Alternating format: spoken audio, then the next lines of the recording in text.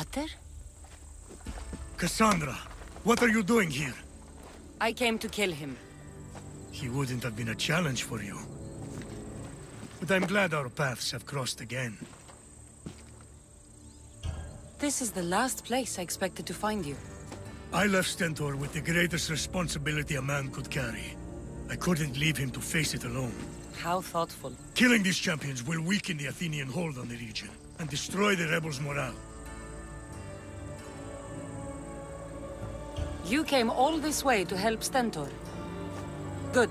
He needs it. It's about time I started protecting those I care about. You're right.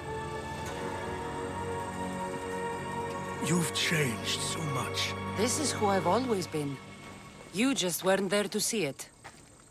I will never be able to change that. But I can do something now for someone who needs me.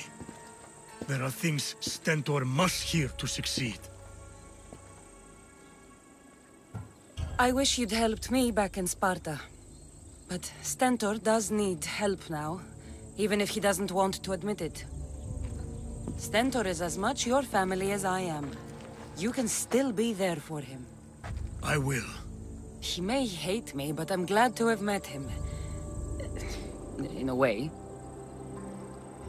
Goodbye, Kassandra of Sparta.